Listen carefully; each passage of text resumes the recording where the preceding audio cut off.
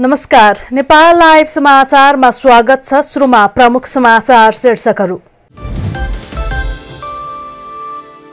प्रतिनिधि सभाको कानून समितिले उल्ट्यायो राष्ट्रिय सभाको निर्णय। प्रशासकीय अदालत पुनर्स्थापना गर्न प्रस्ताव।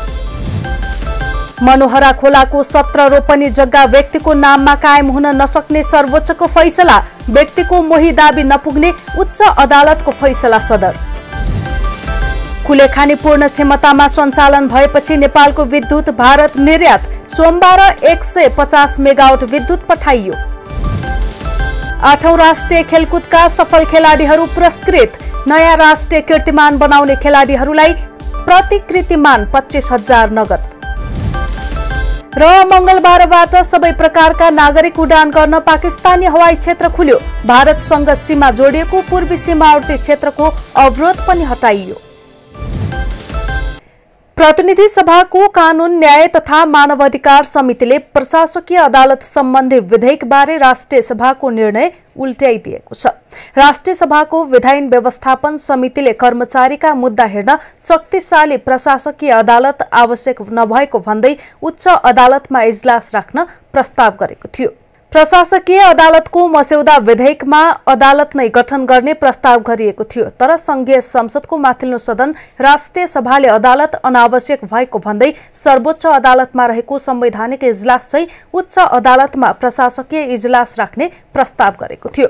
प्रतिनिधि सभाको मानव अधिकार समितिले राष्ट्रिय सभाको सो निर्णय उल्टाउँदै काठमाडौँमा शक्तिशाली प्रशासकीय अदालत गठनको प्रस्ताव गरेको छ। समितिले कुनै प्रदेशमा प्रशासकीय अदालत अन्तर्गतका दुई सय भन्दा बढी मुद्दा परे सो प्रदेशमा समेत अदालत गठन हुने व्यवस्था गर्नुपर्ने प्रस्ताव गरेको छ। सरकारले ल्याएको विधेयकले कर्मचारीको सरुवा बढुवा सम्बन्धी मुद्दा प्रशासकीय अदालतबाट किनारा लागेपछि मात्र सर्वोच्च अदालतमा पुनरावेदन दिन पाइने व्यवस्था छ। मुद्दा प्रशासकीय अदालतबाट किनारा लागेपछि मात्र सर्वोच्च अदालतमा पुनरावेदन दिन पाइने व्यवस्था छ। नेपाल कम्युनिष्ट पार्टी नेकपाको पार्टी एकताका बाँकी काम मूलभूत रूपमा आजै बेलुकासम्म टुङ्गिने पार्टी अध्यक्ष पुष्पकमल दाहाल प्रचण्डले बताएका छन्। अध्यक्ष दाहालले केही बाँकी रह्यो भने त्यो सामान्य टेक्निकल कुरा मात्रै हुने बताए। ललितपुरमा मंगलबार जिल्ला कमिटिलाई शपथ खुवाउँदै प्रचण्डले टुङ्गिएको विषयलाई सचिवालय स्थायी समिति तथा केन्द्रीय समितिबाट अनुमोदन गराइने बताए। पार्टी एकताको बाँकी काम असार मसान्त भित्रै सक्ने भनिएको थियो। अध्यक्ष दाहालले आफूहरू केही दिनदेखि एकताको बाँकी काम टुङ्ग्याउन लागिरहेको जानकारी दिए। उनले एकताको प्रक्रिया ढिलो भए पनि त्यो आजै टुङ्गिने खुसीको कुरा भएको बताएका छन्। पार्टी एकता भएको चौध महिना भइसक्दा पनि पार्टीमा कार्यविभाजन ज्येष्ठ कम्युनिष्ट मञ्च सल्लाहकार परिषद विशेष कमिटी विभाग तथा आयोगहरू टुङ्गिन बाँकी छन्। सर्वोच्च अदालतले मनोहरा खोला बगिरहेको स्थानको सत्र रोपने जग्गा व्यक्तिको नाममा कायम हुन नसक्ने फैसला सुनाएको छ। प्रधान न्यायाधीश चोलेन्द्र शमशेर राणा र न्यायाधीश डम्बर बहादुर शाहीको इजलासले मनोहरा क्षेत्रको किता नम्बर एक सय चौधको पच्चिस रोपनी जग्गा पुरै सार्वजनिक हुने निर्णय सुनाएको हो। स्थानीय भोला चाप्पा गाईले उक्त पच्चिस रोपनी जग्गा मध्ये सत्र रोपनी जग्गा आफ्नो भएको दावी गर्दै दुई हजार उनसत्तरी सालदेखि सर्वोच्च अदालतमा मुद्दा लडिरहेका थिए। नापी कार्यालय र अन्य प्रमाणले व्यक्तिको मोही दावी नपुग्ने उच्च अदालतको फैसला उल्ट्याउन नपर्ने भन्दै सर्वोच्चले उक्त जग्गा सार्वजनिक कायम गराएको हो। कुल पच्चिस रोपनी चार आना जग्गा मध्ये सत्र रोपनी आफ्नो मोही हक भएको दावी गर्दै चापागाई दुई हजार त्रिसठी सालदेखि धाइरहेका थिए। यो मुद्दा तत्कालीन पुनरावेदन अदालतबाट दुई पटक फैसला हुँदै दुई हजार उनसत्तरी कार्तिक चौध गते सर्वोच्च आइपुगेको हो।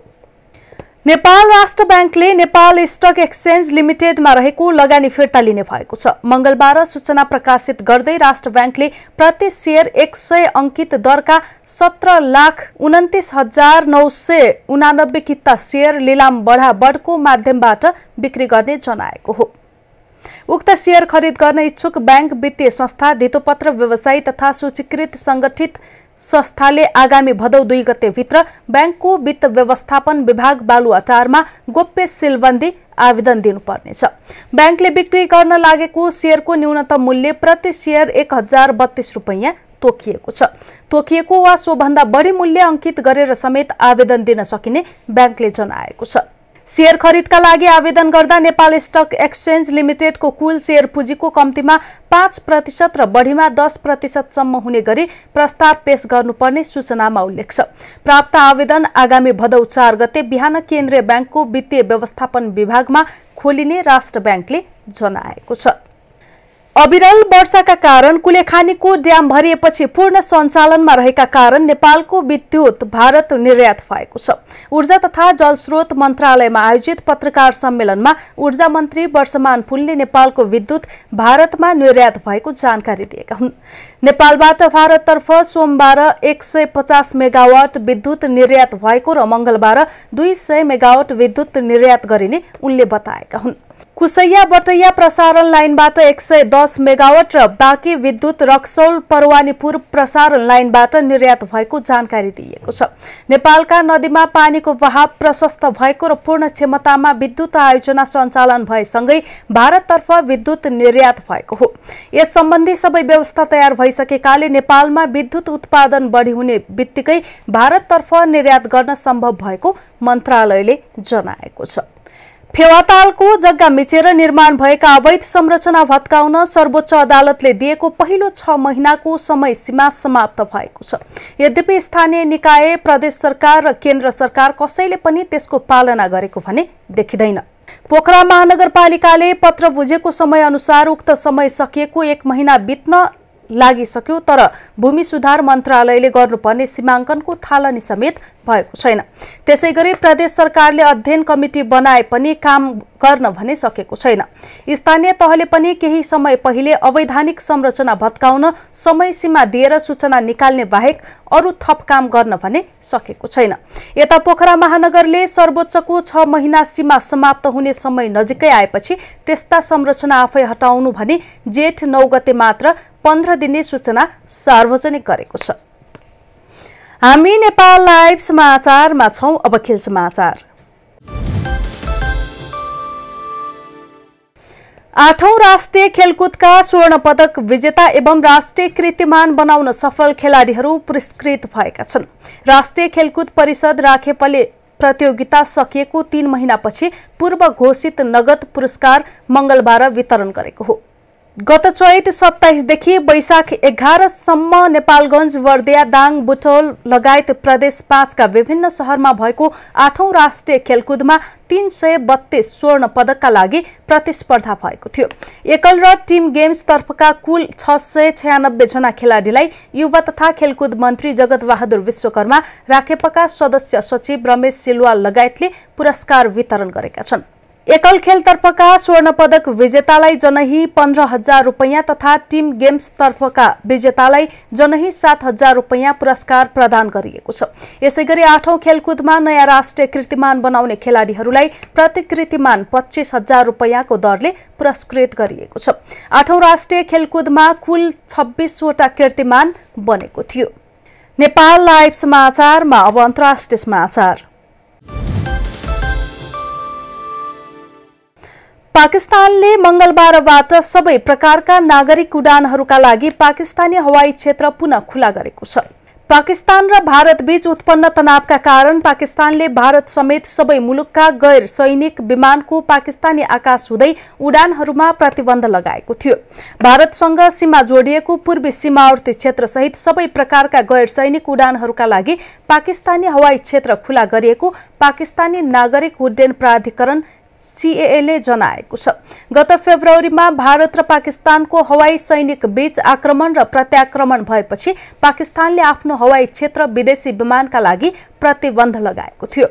पाकिस्तानले केही प्रतिबन्धहरू मार्चमै फिर्ता लिए पनि भारतसँगको तनाव मत्थर नभएका कारण पाकिस्तानको पूर्वी क्षेत्रमा भने यस्तो प्रतिबन्ध फुकुवा गरेको थिएन। नेपाल लाइभ समाचार सकिएको छ। समाचारको अन्त्यमा प्रमुख समाचारका शीर्षकहरू फेरि एकपटक। प्रतिनिधि सभाको कानून समितिले उल्ट्यायो राष्ट्रिय सभाको निर्णय। प्रशासकीय अदालत पुनर्स्थापना गर्न प्रस्ताव। मनोहरा खोलाको सत्र रोपनी जग्गा व्यक्तिको नाममा कायम हुन नसक्ने सर्वोच्चको फैसला व्यक्तिको मोही दाबी नपुग्ने उच्च अदालतको फैसला सदर। कुलेखानी पूर्ण क्षमतामा सञ्चालन भएपछि नेपालको विद्युत भारत निर्यात सोमबार एक सय पचास मेगावट विद्युत पठाइयो। आठौं राष्ट्रिय खेलकुदका सफल खेलाडीहरू पुरस्कृत। नयाँ राष्ट्रिय कीर्तिमान बनाउने खेलाडीहरूलाई प्रतिकृतिमान पच्चिस हजार नगद।